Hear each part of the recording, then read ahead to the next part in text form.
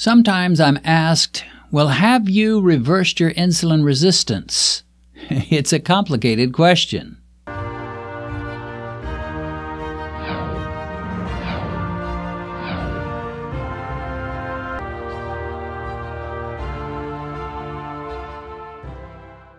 Sometimes the questions that I get asked are asked in a very polite, respectful tone, and other times are asked with a sort of a implied sneer and a bit of a mocking tone. Uh, this particular questioner asked it politely, so I will answer him. I don't typically answer the mockers, but once in a while I might if I'm feeling a little bit mocking myself. anyway, this person says, I'm 45. I was diagnosed type 2 three weeks ago. So, very uh, new diagnosis here, at least when I got this comment. it's, been a little while. Anyway, uh, they say, I have four young children. I want to be around with all my hands and feet and vision. Well, I don't blame you for that. That's what we all want. And the good news is uh, there's no reason why that can't be the case for you.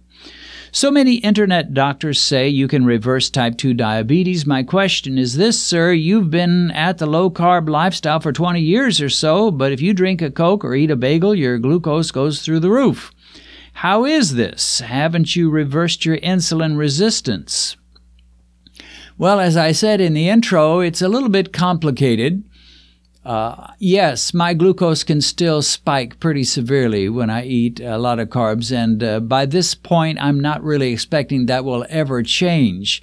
There are a couple of mitigating factors. One is my body's not used to carbs anymore, at least not used to lots of carbs. It's used to a few. And so your body gets into kind of a rhythm and it gets to your your your metabolic system has a memory. Your pancreas has a memory. And it expects a certain kind of a meal. And when you upset the apple cart and you give it something it wasn't expecting it kind of overreacts. So part of the reason probably that I spike so high with uh, a large carbohydrate meal or a high carbohydrate feel uh, food is that my body's just not used to that and so it's used to small little low carb meals and foods. And as a result, it can somewhat overreact. But I'm still going to admit that uh, probably no matter how I ate or what I ate, I would still have a problem with carbs, and I expect I'll have that the rest of my life. On the positive side, there are some things that uh, have really improved with me. I find that I don't quite spike as high with as I used to with high carb foods. And also, I find that my dawn effect is minimal.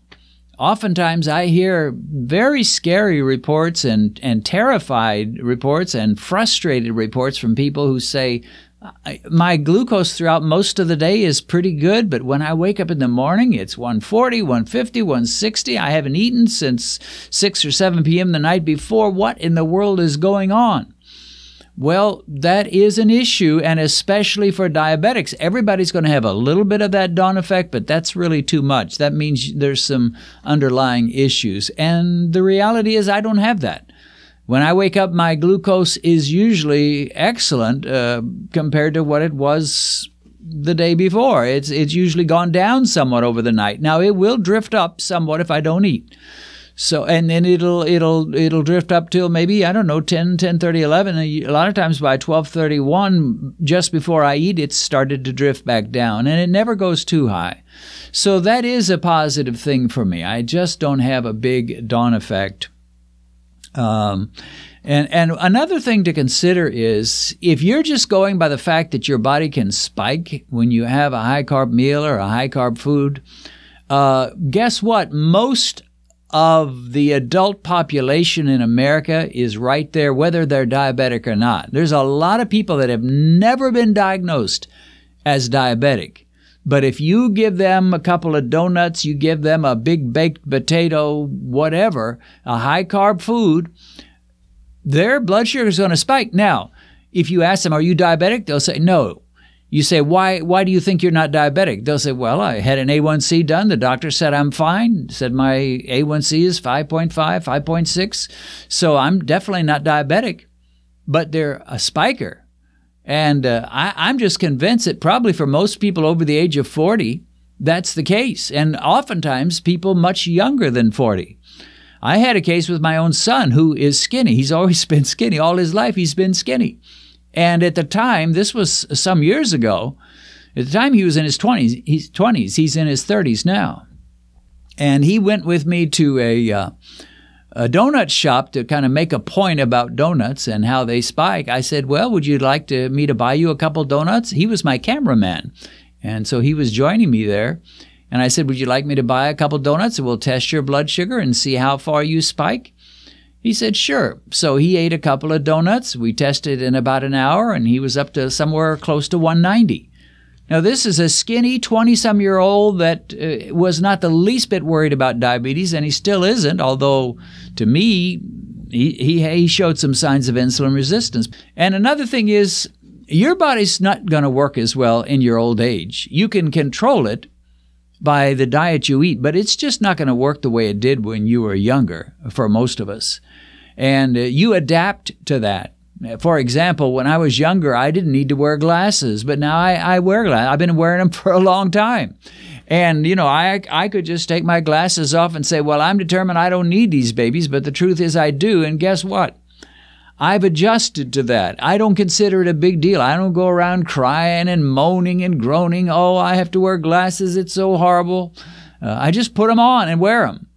And so the same is often going to be true for people uh, with uh, insulin resistance or with uh, the tendency to be diabetic, uh, they're going to spike. They're going to spike when they eat those high carb meals. Give them a big bowl of sugary cereal, they're going to spike. Give them a big pasta dinner, they're going to spike. Give them uh, a big mound of rice with their dinner, they're going to spike. And so my words is uh, my word to you is if you spike when you're eating uh, high carb foods and meals, well, join the club. There's a whole lot of us there. And I, I just don't worry about it. Uh, I guess technically my insulin resistance isn't perfectly controlled, but hey, I'm doing very well. My A1C is down in the very low fives, uh, around 5.1 or so. Uh, everything's going fine. And uh, so I, I just don't worry about it, but uh, I will confess that uh, I have a tendency to spike. But uh, I think the, the reason most people think they don't spike is because they never test their blood sugar. I think if if they did, the the great majority of adult Americans would spike, and even some of the teens. All right, well, here is another uh, comment left under one of my videos. This person says, uh, and and they put it under my video that talks about phase one, phase two, which is phase one is the most severe form of carbohydrate carbohydrate restriction, and really being strict on yourself. Absolutely no snacks. Uh, six hour minimum, uh, uh six hour maximum window of eating, and so forth. And then talking about, well, you might be able to try a few things once you get past uh, the phase one period and you might be able to eat a few beans or a little bean soup here and there. There's a few things you might be able to get away with. Anyway, this person says, Hello, Pastor Pollock. This video is the absolute truth. I just started watching your videos this week, but I've been following this uh, two phase approach ever since my type 2 diabetes back in April 2021. So even without watching my videos, he kind of had it figured out. He may have heard it from somebody else. He says, I followed this approach. My A1C went from 9.4 to 5.3 in four months. He said, now this was his phase one. So four months' time, 9.4 to 5.3. Below is the progress I've made since the diagnosis without medication, so no meds here, no insulin, using this two phase approach. So in April 2021, he had a 9.4. He says that's when I started phase one. By June 2021, he had a 6.4.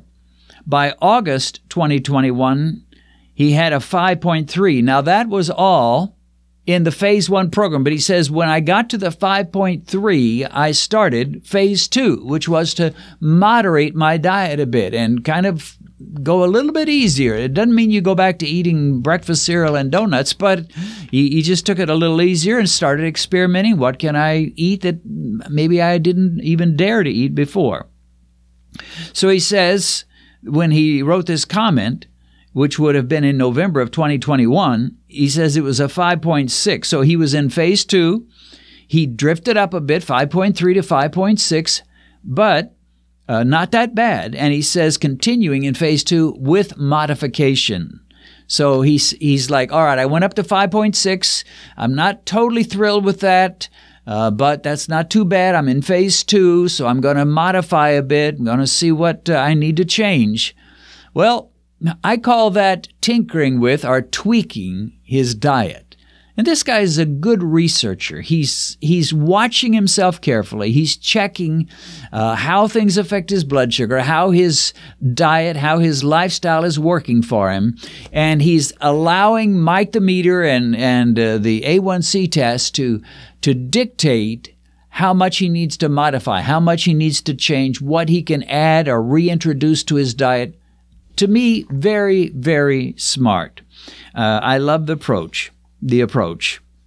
So what you where you end up is uh, is is really it's on you. I, I, I never tell someone, well, here's the A1C that you ought to have. Now we do talk about the Fives Club, and I, I think I'm safe to say nearly every diabetic uh, can get into the fives without uh, too much trouble. It may take some time, but you should be able to do it. And even if you're a type 1 and you have to take long acting insulin and the short acting insulin, we, we hear from type 1s all the time that are in the fives or even in the fours. So even for a type 1, it can be done. Uh, so, but you've got to figure out what is my safe range, what is my happy place when it comes to A1C. Now that puts you in a unique club because most people they're not even thinking about that. They'll just go to the doctor and he may say, Well, you got a 5.8. It's pre diabetic, but not too bad. You better watch your sugar a little bit, maybe lose a few pounds. And that's about all they think about. Yeah, I guess I ought to lose a few pounds, maybe avoid that second piece of pie. But they, they don't take it seriously. I like the way this guy takes it seriously. He says, I went into phase one, got it down to 5.3, went to phase two, drifted up a bit, now I'm modifying. Well, that's that's known as research. That's known as uh, tweaking your diet for optimal blood sugar. And when you're focusing on your lowering your blood sugar by diet, guess what? You're also lowering your insulin levels. So those of you that only want to hear about insulin, don't start screaming at me. Because when you do it by diet, the insulin level is going to follow right along and it's going to come down as well. If you're trying to lower your your uh, glucose levels by taking extra pills and some insulin, then your insulin may be off the charts and you may be doing yourself a great disservice. I'm not saying you, there's not a place to take uh, medication or even insulin if you have to. But if your pancreas is working fine, there, there shouldn't be much reason to need medication and pills except maybe at the first just to relieve your pancreas and give it a break for a while. Anyway, uh, a lot of this is on us, and we have to be responsible. When my doctor gives me some advice about how I should eat, what I should accept, if he tells me 5.9 is perfectly fine, don't even try, he's not the one that's going to have to live with the consequences of me living at a 5.9 or a 6.3 or a 7.1. And there's some doctors, if you can just get into the sevens, they'll tell you you're fine and you don't need to try any harder. But they do not have to live with that. They just give you the advice and move on to patient number 23 for the day, and they just move along. You've got to live with whatever you decide is your optimal A1C and, and glucose levels. And therefore, my thought is better to err on the side of caution, better to be a little stricter. Not by taking that extra medication, not by jamming my body with uh, insulin I inject, but by uh, watching my lifestyle and making sure that I don't eat too many carbs. Well, that's about it. Hope you'll give this uh, video a like with a click that uh, thumbs up and hope you'll subscribe so you can be notified when we post new videos. God bless and see you again soon.